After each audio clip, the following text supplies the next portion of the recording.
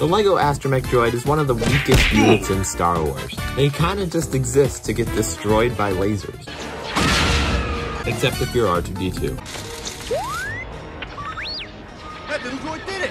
But in this video, I'm going to be building a LEGO Astromech droid army. I'm going to be equipping all of them with different weapons, and then the droids will finally get a chance to do something other than piloting ships. Let's get into it. The first R2-D2 got this machine gun. Definitely one of the better weapons. I also gave this R2-D2 a shield. I equipped this R2-D2 with a bow and arrow and some dynamite. Kind of a weird combination. This R2-D2 definitely got the best weapon here by getting a minigun. I gave this R2-D2 two clone rifles. You can even fold them down like this. The final R2-D2 we're going to be adding to the army is this guy.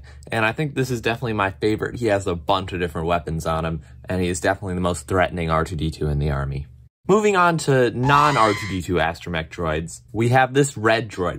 And I gave this red droid this weapon, and I also had this weird hodgepodge of a droid, and I just gave this droid a bunch of different weapons. I also wanted to give BB-8 a weapon, so I gave him this flamethrower. Probably wasn't the best decision because BB-8 cannot support the weight. The final normal astromech droid that I gave weapons was this droid with legs. I gave this droid two machine guns. It looks kind of strange, but I thought we didn't have enough machine guns in the army. So now our army is looking really great. We have so many droids with so many different weapons, and you would not want to come across this in Star Wars. But we are seriously lacking height, so I decided to include the protocol droids in the army. The first protocol droid I added to the army was this Imperial one, and I gave him a backpack. I also added this red droid, gave him a backpack and a huge machine gun. And the last protocol droids I added were both C-3PO. I gave one a bunch of random weapons, and I gave the other one a rocket launcher. And so I added them all to the army, and this is what the Astromech droid and protocol droid army looks like, and it is a very scary army. I think they could take on the clones. So there you have it, guys. That is the LEGO Astromech droid army. If you enjoyed the video, feel free to like and subscribe, and I'll see you in the next one.